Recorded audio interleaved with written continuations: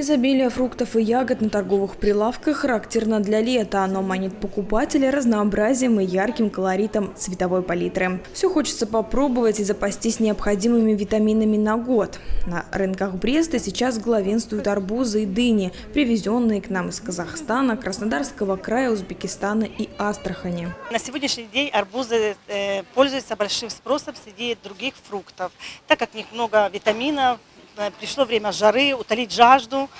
Эм, вот. Ну и, конечно, дыня тоже, она медовая, сладкая. Приехала к нам с Узбекистана.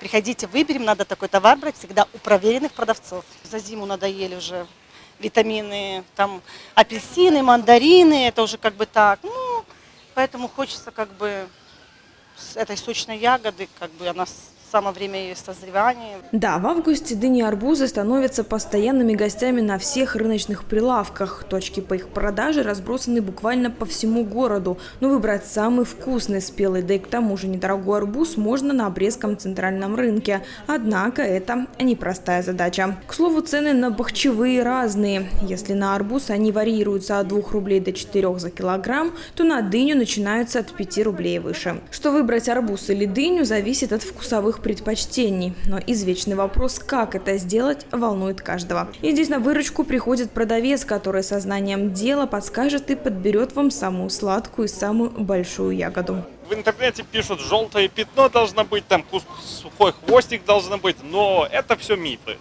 Я вам скажу, она может быть желтым пятном, с сухим хвостом, но внутри перезревшая.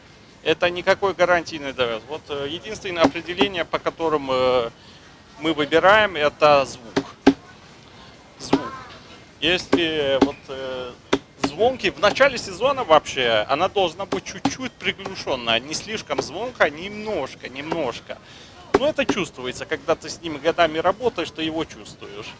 И тогда она будет хорошая внутри, спелая. А в конце сезона наоборот, если она уже приглушенная, глухая, она перезревшая, надо звонки выбирать.